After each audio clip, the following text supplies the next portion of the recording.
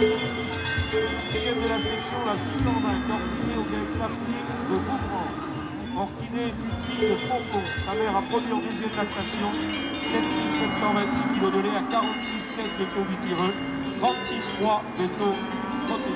Ici, les hommes ont toujours été tributaires de l'élevage. De père en fils, les paysans se transmettent leur savoir-faire et l'amour de la terre. Mais cet équilibre est menacé. Les transformations accélérées et anarchiques de l'économie imposent trop souvent aux agriculteurs de nouvelles contraintes.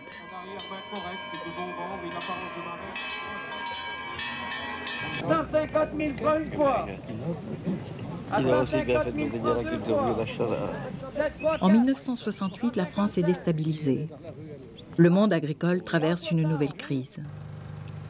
Et c'est dans ce contexte que Jean Chapeau réalise un documentaire sur une famille de paysans, les Fèvres.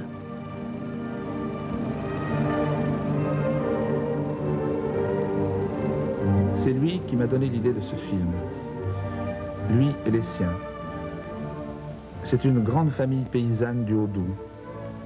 Ils habitent à côté de Pontarlier, tout près de la frontière suisse. Je les ai connus. Je suis entré dans cette société patriarcale. J'ai senti quelque chose de très précieux que j'ai eu peur de voir mourir.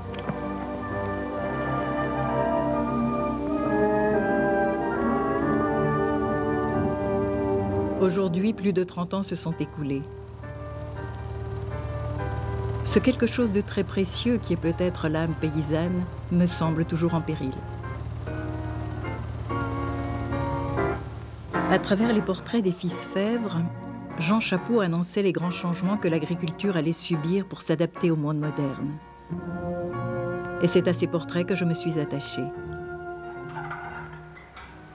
Robert, l'un des fils, il était partisan de l'élan moderniste des années 60. Mais il a été confronté aux contradictions de la politique agricole mise en place à cette époque. On nous dit que pour améliorer le revenu des agriculteurs, qu'il faudrait qu'il y en ait un certain nombre qui partent, qui quittent la terre, qui sont trop nombreux. Eh bien, je peux vous affirmer que pour notre région, c'est faux.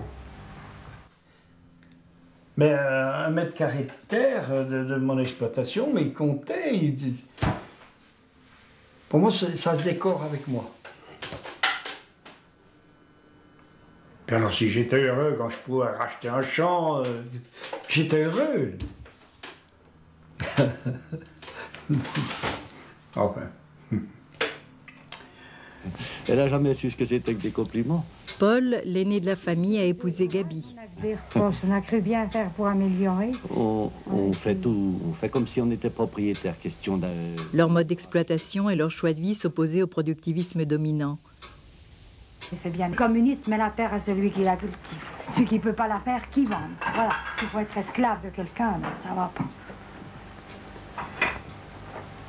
C'est moi qui ai dit un truc, que j'étais révolutionnaire, la terre à ceux qui la cultivent.